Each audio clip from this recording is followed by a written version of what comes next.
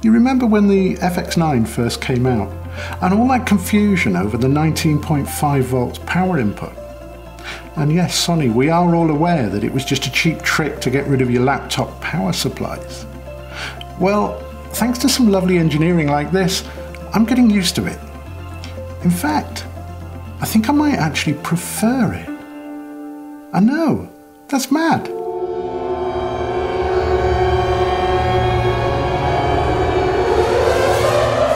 Ta-da! I wasn't always happy. As soon as I ordered the camera, I knew I'd need a V-lock adapter for the back of it as soon as possible. And I went out and ordered the very first thing I could find, and that was the Hawkwood's VLM FX9. It's this battery plate here. I might have made a mistake. You see, it looks like I might not have been the only person rushing. The design of this looks a bit of a mess. It sticks out further than it should, and these natty little screws on the top don't really suit a 10k camera. It's all a bit bendy, so it rattles when it's handheld. Worst of all, if you put on a battery that isn't fully charged, there doesn't seem to be enough juice to kick the regulator into action, which steps it up to 19.5 volts. And that's a problem. Although, to be fair, Hawkwoods have said they'll replace those units and they'll swap this out with one that works. There is a tiny LED on the top to warn you when the batteries are running low.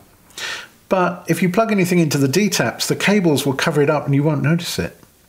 In fact, putting it on the top is a little odd. You don't really notice it there.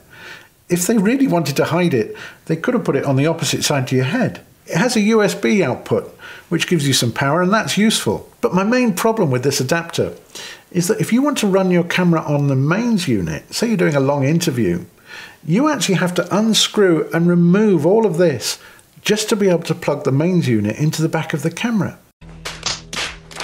Why don't these manufacturers send a couple out to camera operators to try first? I'm here, sitting around all day with nothing to do. I could have tested it for you. And then, as I'm starting to wonder, what shall I buy to replace this? I got a call out of the blue. How good is their timing? The FX9 V mount plate from Core SWX. And it really does look as though somebody's taken some care over this. It actually matches the back of this camera and blends into the design better than some of the Sony stuff we've been offered. It feels like the body of this adapter has been machined out of a solid piece of metal. So there's no flex on the back of the camera at all. It actually rather neatly covers up the DC input on the back of this camera. But that isn't a major problem in this case because they've also given us a 4 pin 12 volt XLR input. And this actually matches the normal 12 volt input you get on most Sony Pro cameras, allowing you to use your existing mains units. Happy days. You've also got a couple of D-taps on the top and even some quarter 20 threads so you can mount your accessories into the solid metal and power them at the same time. Now all of these adapters for the FX9, they need to step up the voltage from the 12 to 14 on the camera battery to 19.5 for the camera. And that means they need to use a voltage regulator, which also means that you won't get a proper indication in your viewfinder of the state of the battery because it's always being regulated. This means your camera's going to read 19.5 or thereabouts in the viewfinder right up until the point at which your battery dies, which is a problem because it'll punch a hole in your last file. Now this adapter does have a very bright LED which flashes red when things are getting close. And it's in a good position, so you do notice it. However, there's another trick that I really do suggest everybody uses. And I had to make these rather neat thumb screws to make it work. You see, if you make it easy to remove the back of this from the camera just slightly, there's enough room in there to put the standard BPU 35 battery that comes with the camera. So as your V-Lock battery runs down and even runs out, you've got a backup. The switchover is seamless. What you see in the viewfinder is the DC input switches to the camera battery.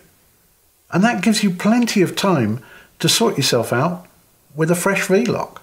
And you can even hot swap your V-Locks without stopping the recording, which is really useful. I've been running with the standard BPU 35 battery in here for quite a while. And on average, it lasts me about more than two weeks between needing to charge it and just swap it from inside here. So it's not difficult, and the flexibility it gives you is actually really good. Core SWX also sent me one of their Hypercore Neo Mini batteries. And the good thing about this, it gives you a really accurate readout of your remaining runtime. And that's really useful on this camera because you're not getting it in the viewfinder. So now you've got three levels of protection. You've got the display on the battery, you've got an LED which is bright and changes red, and you've got the backup battery inside, giving you an indication in the viewfinder. How many of you have battery anxiety when you know your batteries are getting past their best and you're not sure if they'll reach the end of the shot? Well, I don't have that anymore with this system. I really like the fact that I can run my batteries completely flat, safe in the knowledge that I'm not going to lose a single shot. I'm actually very grateful to Core SWX for sending me this battery plate to try.